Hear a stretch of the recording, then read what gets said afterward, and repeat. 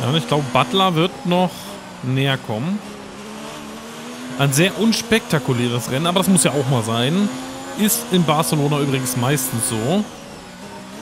Das ist so ein bisschen wie Ungarn eine Prozessionsfahrt. Etwa drei Runden kommen wir mit dem Benzin noch raus. Ja, mehr brauchen wir auch nicht. Zwei Zehntel gewonnen. Wir lassen Butler aus dem DRS-Fenster. Das ist wichtig. Das ist das, was für mich zählt. Okay, Verschleiß ist kein Problem. Ja, die Reifen sind nicht mehr die frischsten. Aber es ist auch hier nichts Dramatisches zu erwarten. Und wie gesagt, wir fahren sogar ein bisschen weg. Oh. DRS offline. Es gibt einen Fehler im Heckflügelsystem. Bleibt draußen. Wir können von hier aus an dem Problem arbeiten. Ja, ich habe eh kein DRS gerade. Übrigens auch was, was ich in Melbourne, glaube ich, hatte, äh, wo ich dachte, der Flügel ist kaputt und ich habe mir eingeredet, der Flügel sei kaputt und hatte deswegen ein schlechteres Fahrgefühl. Wahrscheinlich äh, Einbildung. Es war wahrscheinlich einfach nur die Reifen ein bisschen runter.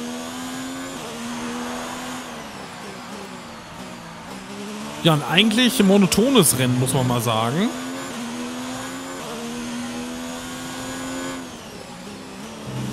Aber wie gesagt, es kann nicht immer die große Action geben.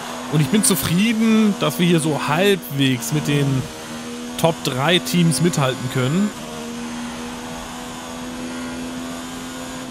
Und Science hat mich jetzt dann doch ein bisschen enttäuscht. Ich hätte gedacht, dass der schneller am Butler vorbeikommt und uns dann angreift, wenn ich ehrlich bin.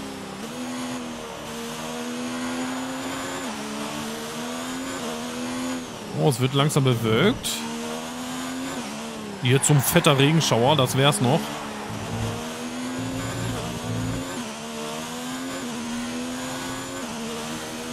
So, und wir gucken mal. Abstand zwei Sekunden. Also ganz easy. Das bringen wir nach Hause. Und da hinten ist Verstappen. Wir sehen ihn immer noch. Also das ist für mich die eigentliche Sensation.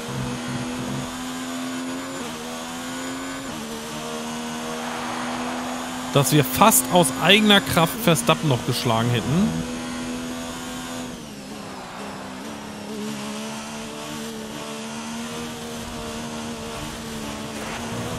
Okay, mit Fehlern wollen wir leben, aber nicht mit, mit sowas. Das war zu viel des Guten. So. Aber ich glaube, wir hatten nur zwei Rückblenden. Das ist, glaube ich, neuer Rekord. Oder hatten wir drei? Nein, zwei. Ich glaube, zwei. Ähm, ja, auf solchen Rennstrecken fühle ich mich halt auch wohler und das eben, ja. Die eine Sache war mit Verstappen, da entsinne ich mich. Das war das, wo wir uns berührt haben. Das war aber okay. War vermeidbar. Ich habe es mal aufkommen lassen, weil ich dachte, vielleicht können wir durchfahren. Ich hätte auch ein bisschen äh, progressiver fahren können. Sechs Sekunden. Also ich glaube, wir holen noch Verstappen sogar auf, theoretisch gesehen. Das wundert mich jetzt dann doch ein bisschen.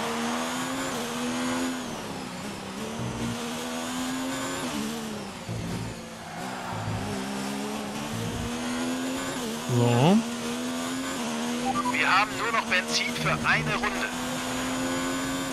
Ja, mehr brauchen wir auch nicht. Das ist deine letzte Runde, die letzte Runde des Rennens. Der Abstand zum Teamkollegen beträgt 24,0 Sekunden. Also ich bin zufrieden. Und wir fahren immer noch die gleichen Zeiten. 1,23,3, 1, ja so in etwa, 1,23,3. Aber das ist okay, wir fahren sehr mega konstante Zeiten.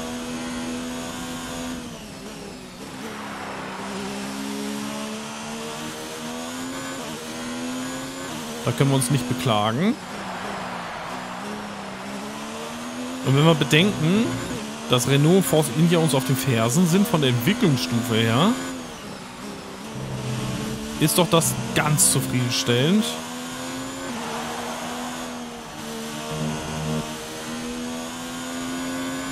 Ist sehr konservativ auch rum.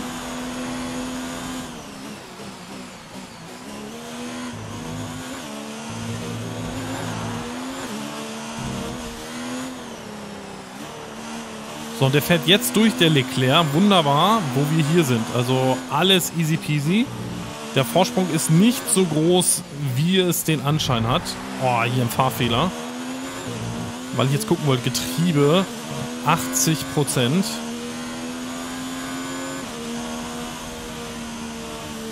Ja, sehr gutes okay, Rennen. Sammel ein wenig Gummiabrieb ein und komm rein.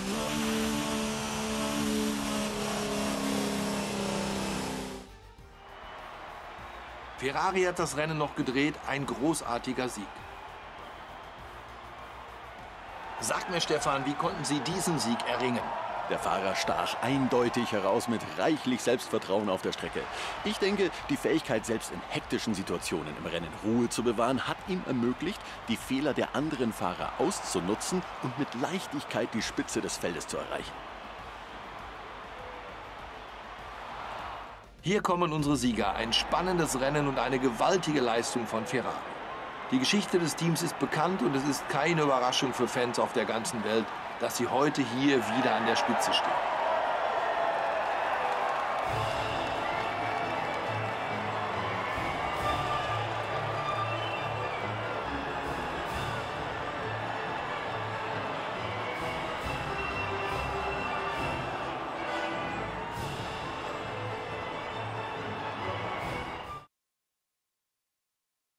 Sehen wir uns an, wie die Fahrerwertung nach dieser Runde der Weltmeisterschaft aussieht. Kommen wir zum Fahrer des Tages, Stefan Römer. Wer ist dein Kandidat? Ohne Frage Lewis Hamilton. Er hat heute einige selbst für ihn beeindruckende Kunststücke auf der Strecke vollbracht. Es ist Zeit, einen Blick auf die Situation in der Konstrukteursweltmeisterschaft zu werfen. Mercedes baut seine Führung weiter aus. Und damit geht ein weiteres Formel-1-Wochenende zu Ende. Ein Lichtblick sind die Rennen, die noch vor uns liegen. Also seien sie auch bei denen definitiv wieder mit am Start. Ja, dagegen kann man nichts sagen. Und wir haben nicht mal 20 Sekunden Rückstand. Und unser Teamkollege ist, wo ist der denn überhaupt? Ich weiß es nicht. Die Enttäuschung. Die Enttäuschung von 16 auf 17. Da wären wir drin gewesen. George Russell ist ausgefallen, haben wir gesehen. Ja, und wir haben einen Platz verloren, natürlich durch Lewis Hamilton, ganz klar. Und ja, der hat richtig Attacke gemacht, schnellste Runde gemacht und statt 18 19 Punkte geholt. Für die schnellste Runde gab es den Extrapunkt. Ist ja seit dieser Saison so. Und ich will mal eins sagen, Verstappen oder Bottas zum Beispiel fahren 1,22,7, 1,22,6. So in etwa. Wir fahren 1,23,2 oder 1,23,3. Aber das kann man ja in etwa überall ein Zehntel draufpacken. Sagen wir mal 1,22,2 sind wir hier gefahren im Durchschnitt. Wie gesagt, das Durchschnitt ist ein bisschen schwer immer zu sagen, aber wir sind mal gerade sechs Zehntel pro Runde langsamer gewesen als die ganz vorne. Das ist okay. Damit können wir leben. Wir entwickeln den Wagen ja auch noch. Und ähm, ja, ich bin da mal sehr, sehr gespannt. Auch den Start werden wir uns gleich nochmal aus mehreren Perspektiven angucken. Hier erstmal die Highlights des Rennens von Spanien. Prinzipiell sind wir schlecht wie immer weggekommen oder naja, so halb schlecht. Und man sieht, wir sind hier schon in der Verteidigungsposition. Und Sainz verbremst sich und kracht da rein. Eigentlich hat Sainz profitiert durch seinen Verbremser. Aber gut, wir wollen da keine Beschwerde. Und Sainz hat mich auch ein bisschen gewundert, muss ich sagen. Und hier kämpfen wir gegen Lewis Hamilton, beziehungsweise wir kämpfen. Wir haben ihn, nee, in der Runde noch nicht. Ah, da sind Pylone weggeflogen. Ich habe was fliegen sehen, aber ich wusste nicht was. Ja, und hier haben wir gegen Hamilton keine Chance. Wir fahren zickzack, das ist übrigens erlaubt. Jetzt nicht mehr. Boah, da ist aber schon Hamilton gut dran und fährt weg. Und da macht es auch keinen Sinn reinzuhalten. Ähm, das ist dann so ein dummer Fehler, wie ihn Vettel gemacht hat bei Verstappen. Da muss man einfach akzeptieren, man hat verloren. Und dann ist es so. Ich denke, ein blitzsauberes Rennen. Schreibt es gerne mal in die Kommentare, wie ihr es seht. Boah, ihr schaut euch das mal an. Ja, und äh, es war nicht unbedingt actionreich, es war doch extrem taktisch. Und dadurch, dass wir nur einen Stop hatten, ähm, ja, wäre das Rennen länger gewesen, wären zwei Stop-Rennen gewesen. Aber das ist schon sehr cool. Wirklich sehr, sehr cool. Also das Ergebnis meine ich jetzt. Und äh, grafisch sieht es natürlich auch toll aus. Ja, und hier sind wir hinter Verstappen. Und hier kaschen wir uns ihn nochmal zurück. Aber das ist ja nur für eine Runde, wie wir wissen. Jetzt kommen wir ran. Das war die Szene, wo wir wiederholt hatten. Ja, zeigen sie nicht. Super Highlights, super Highlights. Aber gut, wie gesagt, das ist noch eine Entwicklung, das wird noch verbessert werden in den nächsten Jahren. Ich bin froh, dass das gibt. Schönes Feature dieses Spiel, oh, dieses Spiels und da fahren wir durchs Ziel. Ich denke mal, da wird noch eine Verbesserung in den nächsten Jahren zu erwarten sein. Es gilt ja erstmal Erfahrungen sammeln. Ja, ich würde ganz gern den Start mal aus der Sicht von Science sehen, also so ein, zwei, ähm, äh, ein, zwei Highlights bräuchten wir. Also erstmal würde ich hier mal ganz gerne den sehen. Von, ich glaube, Perez ist es. Ja, der beschleunigt uns aus, aber auch der Bottas ist es, glaube ich, für uns, ja. Ist ganz schlecht gestartet, prinzipiell erstmal.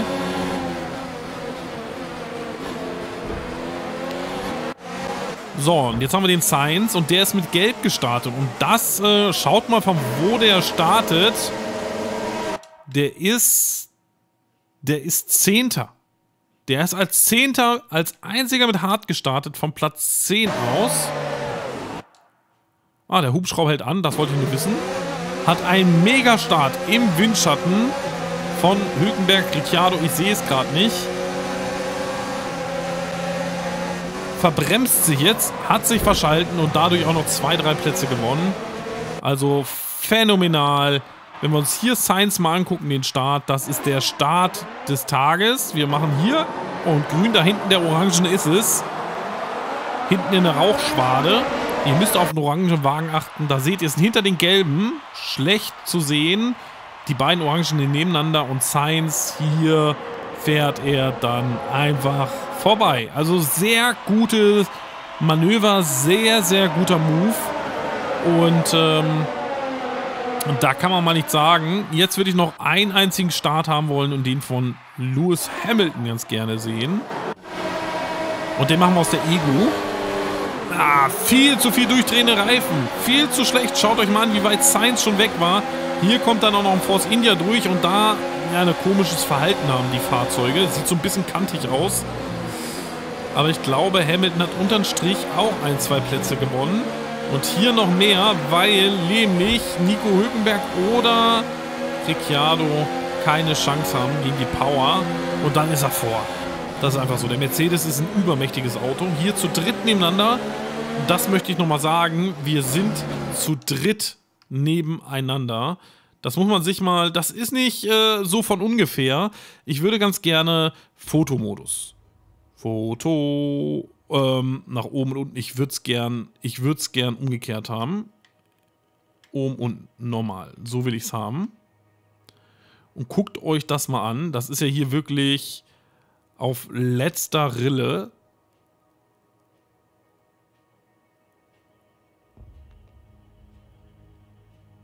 So.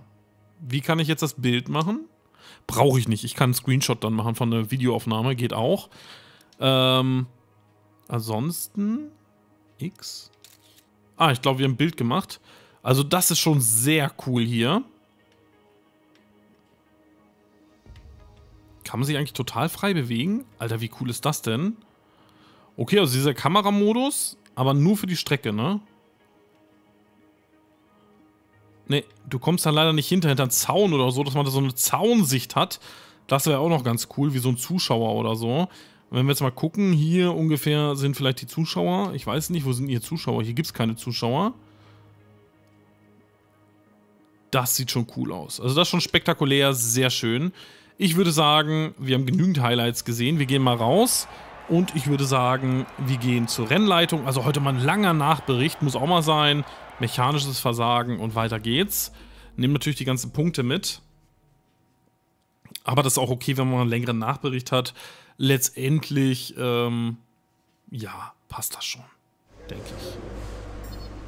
So, wir dürften gegen Grosjean noch nicht gewonnen haben. Ein Punkt fehlt. Wie so oft fehlt genau ein Punkt. Das ist immer dasselbe. Ähm, ja, schade. Na gut, wir gucken mal, wie viele Punkte es gibt für die Forschung und Entwicklung. Wir müssen da dringend was tun, aber auch für die Zuverlässigkeit müssen wir dringend was tun. Es ist ein bisschen ein Fluch. So, hier sind alle zufrieden. Ausgezeichnetes Ergebnis. Solche Platzierungen machen sich gut beim Verhandeln. Gern mehr davon. Sieht aus, als würde einer deiner Rivalen auch an einem historischen Event teilnehmen. Wenn du es mit ihm aufnimmst, kannst du dir vielleicht einen Namen machen. Okay, das werde ich vielleicht mal eine extra Folge machen. Vielleicht machen wir das einmal, dass das mal drin ist. Aber generell mache ich das nicht. Was hältst du hiervon? Es sieht gut aus, mein Freund. Es sieht gut aus. Aber wir müssen, wir müssen leider wirklich ein bisschen ins Getriebe investieren. Es hilft nichts. Es sind 530 Punkte. Das ist so ärgerlich. Hier sind es 1200 und es wird sofort günstiger. Die Frage ist, was ist der richtige Weg? Ich weiß es nicht genau. Hier hätten wir mehr Sicherheit. Ich bin unentschlossen. Ich bin sehr unentschlossen. Aber ich glaube, wir investieren im Preis. Wir investieren im Preis. Ich glaube, das zahlt sich am meisten aus. Oder wir machen das hier. Hier könnten wir... Ne, beides kriegen wir auch nicht hin. Wir investieren im Preis. Komm her. Zack. Und das bedeutet, dass wir hier Preis, guck mal, 461 statt 500. Ich glaube, das lohnt sich mehr. Ich weiß es auch nicht. Es ist ein bisschen risikoreich. Aber hey, wir lieben das Risiko. Und dann, ähm... Ja, würde ich sagen... War's das für diese Folge. Und wir werden dann... Oh, Brown GP. Sehr cool. Und wir werden dann halt hier eine Herausforderung mal annehmen. Ich bin noch nicht sicher, aber ich glaube, ich würde die mal nehmen. Ich würde sagen, bis zur nächsten Folge. Wir nehmen diese Herausforderung und sehen uns dann. Bis dahin, euer Zelron. Macht's gut. Ciao.